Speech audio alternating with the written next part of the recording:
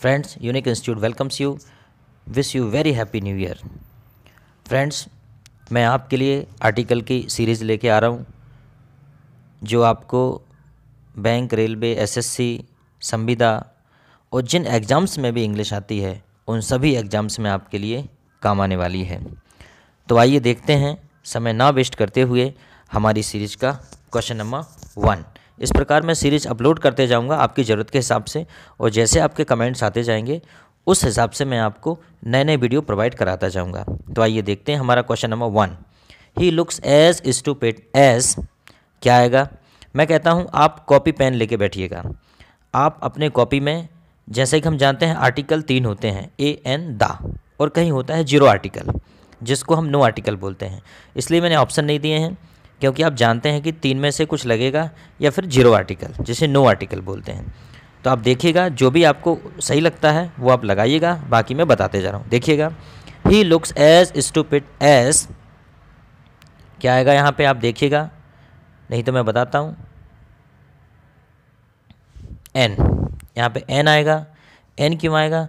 क्योंकि वहाँ पे ओ डब्ल्यू एल और आपने देखा होगा कि जब कभी भी हम वाउल साउंड हमें मिलता है हिंदी का तो उसके अकॉर्डिंग हम यहाँ पे एन लगा देते हैं। नेक्स्ट देखिएगा। I bought blank horse blank ox an blank buffalo यहाँ पे क्या आना चाहिए? आप जल्दी से सोचिएगा। सोचिए सोचिए। चलो ठीक है, मैं बताता हूँ। I bought a horse and ox and a buffalo a horse horse का जब साउंड करते हैं तो ऐसे स्टार्ट होता है, लेकिन ऑक्स का जब साउंड स्टार्ट होता है, वो वाउल से होता है तो एन ऑक्स, अब अ फेलो। नेक्स्ट देखिएगा, द गाइड नोस, देखिएगा क्या आएगा, सोचिए। चलो ठीक है, मैं बताता हूँ। The way. अब यहाँ पे द क्यों आएगा? द इसलिए आएगा, द गाइड नोस, यहाँ पे किसी गाइड ही एक ऐसे व्यक्ति की बात हो रही है जो ही सिर्फ़ रास्ते को जानता है। यहाँ आम आदमी की बात नहीं हो रही जो रास्ते को जानता है। इसलिए यहाँ पे द आएगा। जब हम किसी चीज़ को पर्टिकुलराइज करते हैं तो वहाँ पे द आर्टिकल लगाना पड़ता है। ऑनेस्ट मैन स्पीक क्या आएगा? सोचिए। वेरी गुड द आएगा। जब कभी भी ट्रुथ होता है ट्रुथ के साथ हमेशा द का प्रयोग किया जाता है। अंडरस्टैंड चलो नेक्स्ट क्वेश्चन पे चलते हैं। Question number five copper is useful metal क्या आएगा? सोचिए। चलो, ठीक है, मैं बताता हूँ। A copper is a useful metal अब कुछ सोच रहे होंगे यू के कारण यहाँ पे एन क्यों नहीं आया? जब हम यूज़फुल जब हिंदी में लिखते हैं तो इसका जो साउंड है, वो कंजोनेंट साउंड है यू या। इस वजह से यहाँ पे हम ए लगाएँगे, ना कि एन चलो आगे बढ़ते हैं नेक्स्ट क्वेश्चन की तरफ़। He is honour to his country क्या आएगा? जल्दी सोचिए। Very good an honour to his country यहाँ पे हमारा वाउल साउंड है। वाउल साउंड के अकॉर्डिंग हम यहाँ पे एन का प्रयोग करेंगे। बहुत अच्छे। Question number number seven the child found egg in the nest बताइएगा क्या आएगा? सोचिए सोचिए। चलो ठीक है। मैं बताता हूँ। The child found an egg जैसा कि आप समझते हैं वाउल साउंड है हमारा, और वाउल साउंड के कारण हम यहाँ पे एन का प्रयोग करेंगे। बहुत अच्छा। नेक्स्ट देखते हैं question number eight English is easy language क्या आएगा? सोचिए। चलो, मैं बताता हूँ। English is an easy language देखिए, एक बात हमेशा ध्यान रखिएगा। जब कभी भी कोई प्रॉपर नाउन आता है, अगर इंग्लिश आता है, उसके आगे हम कभी भी आर्टिकल का प्रयोग नहीं करते हैं, लेकिन लैंग्वेज में आ सकता है इजी में आ सकता है। इजी हमारा यहाँ पे जो है, हमारा एडजेक्टिव है, और इसके कारण हम यहाँ पे इसके आगे एन लगा सकते हैं। इजी लैंग्वेज लैंग्वेज में हम आर्टिकल का प्रयोग कर सकते हैं। आगे देखते हैं। Sunshine brightly question number nine है हमारा। ब्लैंक सनसाइन ब्राइटली क्या होना चाहिए? वेरी गुड यहाँ पे हमारा द आर्टिकल होगा, जैसा कि हम जानते हैं, जो यूनिवर्सल थिंग्स हैं, जो विशेष हैं, उनके आगे हमेशा दा का प्रयोग करते हैं। The sun the moon, the earth, the sky, the stars, the galaxy, इन सब के आगे हम दा का प्रयोग करते हैं। बहुत अच्छा। क्वेश्चन नंबर टेन है हमारा। फ्रेंच इज़, पहले से दिया हुआ है, चलो बहुत अच्छी बात है। French is a language of the people of England. French जो है, इंग्लैंड के लोगों की भाषा है। तो यहाँ पे बहुत ही सही आर्टिकल प्रयोग किया गया है। क्वेश्चन नंबर नेक्स्ट देखते हैं। रोहित इज़ अनटाइडी बॉय क्या आना चाहिए यहाँ पे? अनटाइडी देखिएगा साउंड पे जाइए। वहाँ पे अनटाइडी हमारा बाउल साउंड मिल रहा है हमको। तो क्या लगाना चाहिए? चलो देखते हैं। एन अनटाइडी बॉय बहुत अच्छे। आप अपने कॉपी पेन से लिखते जाइएगा और मिलाते जाइएगा और इनको बार बार प्रैक्टिस कीजिएगा। मैं इस प्रकार के कंटिन्यू आपको आर्टिकल देता जाऊँगा और ये पूरी आपकी एक प्रैक्टिस सीरीज़ हो जाएगी। I have come question number twelve I have come without umbrella ज़रा साउंड पकड़िए क्या आ रहा है। वेरी गुड अम्ब्रेला हमारा यहाँ पे वाउल साउंड मिल रहा है हमको। Very good I have come without an umbrella question number thirteen lion is blank king of beast देखिएगा, जो शेर होता है, वो जंगल का राजा होता है, ठीक है? वीस्ट मतलब होता है जंगल या बीहड़ जिसे कहते हैं, जहाँ पे एक मैदान बोलते हैं, जिसे जहाँ पे शेर रहता है उस जगह को मैदान, उस मैदान का शेर राजा होता है। तो यहाँ पे क्या लगाएँगे आप, देखिएगा। A lion is the king of beast. हमने एक क्यों लगाया? जब कभी हम किसी जानवर की या किसी की पूरी जाति को बताते हैं। यहाँ पे एक शेर की बात नहीं हो रही है, यहाँ पे पूरे शेर की बात हो रही है कि शेर जो है, वो एक एरिए का, एक एरिया विशेष का, बीस्ट का जो है, वो राजा होता है। इसलिए यहाँ पे a lion is the king of. तो सेकेंड में हम इसलिए लगाएँगे क्योंकि शेर की पहले बात हो चुकी है ऑलरेडी साइक्लोन इज़ इज़लैंड तो साउंड पकड़िए, यहाँ पे क्या आ रहा है? इज़लैंड एक नाउन है। साउंड साउंड पकड़िए। Island very good. यहाँ पे आपको वाउल साउंड मिल रहा है। Very good question number fifteen India is honour of the home of the tiger sorry India is home of the tiger क्या आना चाहिए यहाँ पे? ज़रा साउंड पकड़िए. Very good the India is the home of tiger यहाँ पे हम जो टाइगर है इंडिया उसका होम है. यहाँ पे हम चूँकि पार्टिकुलराइज कर रहे हैं किसी को कि इंडिया ही ऐसी जगह है जो टाइगर के लिए होम का है. होम का काम करती है, बाकी और कंट्री नहीं हो सकती अकॉर्डिंग टू द सेंटेंस तो हमारे यहाँ पे हम दा का प्रयोग करेंगे। वेरी गुड चलो क्वेश्चन नंबर नेक्स्ट पे चलते हैं। Question number sixteen I suppose he has ज़रा पकड़िए क्या होगा यहाँ पे। चलो ठीक है वेरी गुड आप अपनी कॉपी में नोट कर लीजिए, मैं बताता हूँ। A home he I suppose he has a home मुझे लगता है उसके पास एक घर है। Very good question number seventeen पे आइएगा।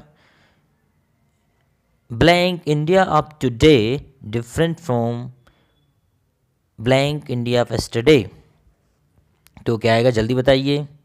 India of today differ from India of yesterday चलो ठीक है, देखते हैं। आपने क्या सोचा है? Very good the India of today differ from the India of yesterday. यहाँ पे हम इंडिया को पर्टिकुलराइज कर रहे हैं। एक ऐसे इंडिया की बात हो रही है, जो कल के इंडिया से अलग है। इसलिए यहाँ पे हम द आर्टिकल का प्रयोग करेंगे। Very good question number eighteen पे आते हैं। He is not blank mister A K Verma without you know सोचिए क्या आएगा। जल्दी से कॉपी में नोट करिएगा। चलो ठीक है, मैं बताता हूँ। He is not the mister A K Verma hmm you know मतलब ये मिस्टर वर्मा ही हैं, परंतु ये वो मिस्टर वर्मा नहीं है जिनको आप जानते हैं। तो जब कभी भी किसी व्यक्ति की बात पहले हो चुकी होती है, उसके बारे में पुनः बात होती है तो हम वहाँ पे द आर्टिकल का प्रयोग करते हैं। देखिए क्वेश्चन नंबर नाइनटीन से और अच्छे से समझ में आएगा आपको। Question number nineteen apple cart is blank historical novel बताइए यहाँ पे क्या आएगा? सोचिए सोचिए। चलो ठीक है, मैं बताता हूँ। The apple cart is a historical novel जब कभी भी ऐसा क्वेश्चन आएगा तो हम उसे कैसे पकड़ेंगे? क्योंकि एप्पल कार्ड लिखा हुआ है और पीछे दिया गया है हिस्टोरिकल नोबल हमारा सेकंड वाला सेंटेंस तो इससे यही निष्कर्ष निकलता है कि जो आगे वाला जो एप्पल कार्ड है, वो कहीं ना कहीं किसी नोबल का नाम है। और चूँकि as per rule before the name of any novel we use article the understand चलो ठीक है। क्वेश्चन नंबर नेक्स्ट पे आते हैं। Question number twenty. Blank boy met, blank man with blank elephant and boy saw, blank man feed blank elephant. आप ज़रा फटाफट अपनी कॉपी में लिख लीजिएगा कि इसका करेक्ट आंसर क्या हो सकता है। ए एन द आर्टिकल में से क्या हो सकता है, या ज़ीरो आर्टिकल, उसके बाद मैं बताता हूँ। Very good. चलो ठीक है, अब देखते हैं चेक करते हैं आपने कितना सही किया। A boy met a man with an elephant and boy saw the man feed the elephant. देखिए, यहाँ पे मैं थोड़ा सा आपको कॉन्सेप्ट बता दूँ, होता क्या है? जैसा कि मैंने पहले बताया, जब हम किसी व्यक्ति की एक बार बात कर लेते हैं तो पहली बार जब बात करते हैं तो ए एन आर्टिकल का यूज़ किया जाता है एज पर रूल लेकिन जब उसी व्यक्ति की या वस्तु की सेकेंड टाइम जब बात होती है तो हम आर्टिकल दा का ही प्रयोग करते हैं। 90 परसेंट इस, ये फार्मूला आपका काम करेगा एग्जामिनेशन में। यहाँ पे देखिएगा। A boy met a man with an elephant यहाँ पे एक बार बात हुई है, लेकिन same and the boy saw the man दोबारा उसी मैन की बात हुई है। फ़ीड द एलिफेंट क्योंकि उसी हाथी को दोबारा खिलाया जा रहा है। आई थिंक आपको समझ में आ गया होगा। आइए नेक्स्ट क्वेश्चन पे चलते हैं। Question number twenty one blank traveller follow blank path through blank forest and came to blank bridge over blank river he cross blank bridge over blank river and was glad to leave blank path through blank forest behind him सोचिए फटाक से, क्या आना चाहिए?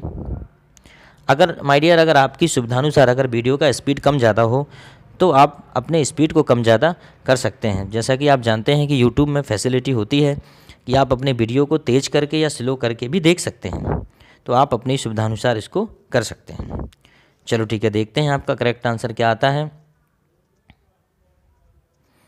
Very good जिस प्रकार मैंने बताया था रूल नंबर इसके पहले वाला, कि जब कभी भी सेम ऑब्जेक्ट की बात एक बार हो चुकी होती है और दोबारा फिर से होती है तो हम सेकेंड टाइम द आर्टिकल का प्रयोग करते हैं जिस प्रकार यहाँ पे दिया गया है। A traveller follow a path through a forest and came to a bridge over a river he cross the bridge over the river and was glad to leave the path through the forest behind him very good I think आप बहुत अच्छे से समझ गए होंगे।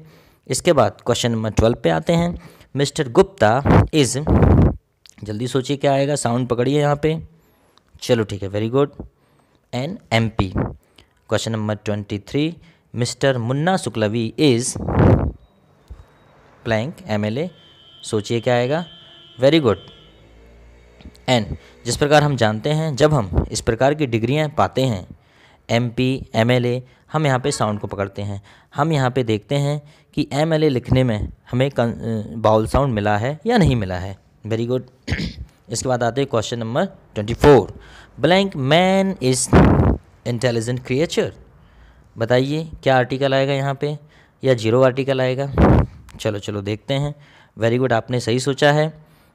यहाँ पे no article क्योंकि जब कभी भी हम किसी व्यक्ति की, पूरी जाति की बात करते हैं तो वहाँ पे हम ज़ीरो आर्टिकल का प्रयोग करते हैं। Man is an intelligent creature. इंसान एक बुद्धिमान जंतु है। Very good. इंसान जंतु नहीं है, पर यहाँ पे कहा जा रहा है।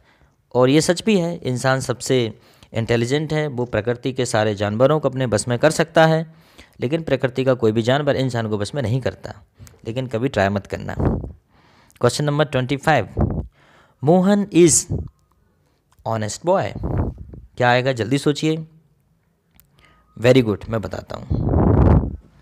Mohan is an honest boy honest को पढ़ने से हमारा साउंड वाउल साउंड मिलता है।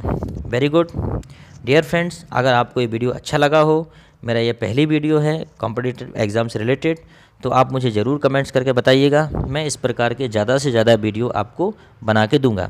और अभी मैंने प्रैक्टिस सीरीज़ स्टार्ट की है। इसके बाद मैं आपको एक्सप्लेन भी करूँगा और अगर आपकी रिक्वायरमेंट हुई तो मैं ऑनलाइन क्लास भी आपको प्रोवाइड कराऊँगा। और अगर किसी भी प्रकार के चैप्टर को समझने में आपको परेशानी होती है तो आप मुझे ज़रूर बताइएगा। मैं आपको लाइव क्लास या ऑनलाइन क्लास के थ्रू आपको वो चीज़ समझाऊँगा। बहुत बहुत धन्यवाद। आपका दिन शुभ हो। जय हिंद, जय भारत।